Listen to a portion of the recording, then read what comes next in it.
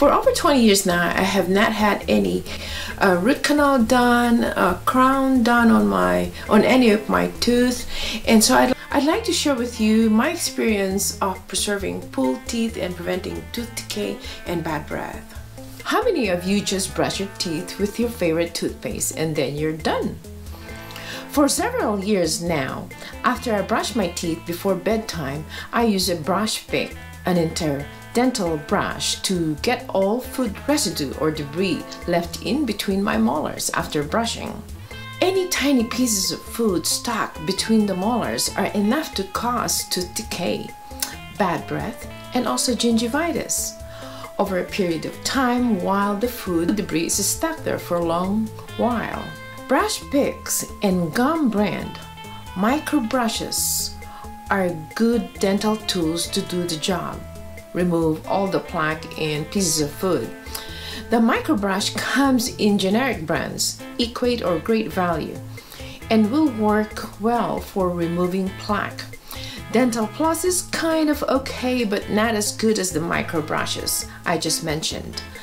The Doctor's Brush Picks is my favorite it is very effective, especially if, if you ate beef, pork, and certain veggies that sticks just, you know, sticks hard to in between your molars.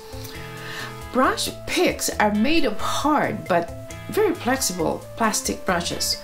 Practicing this good hygiene for your teeth will save you a lot of dental bills. A lot of us can only go to the dentist twice a year for teeth cleaning and those food particles will be stuck in our molars until we have our teeth cleaning done at the dentist's office. The practice will make your gum tissue white, a sign you have a healthy gum. Always use fluoride-free mouthwash after you clean your teeth. It will help keep your teeth and gum healthy and prevent bacteria buildup.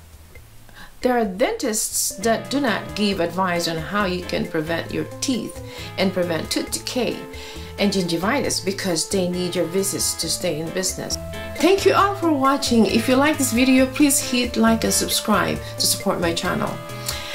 And uh, please do not forget to visit my website at www.livelifewellall.com. Keep safe and stay well.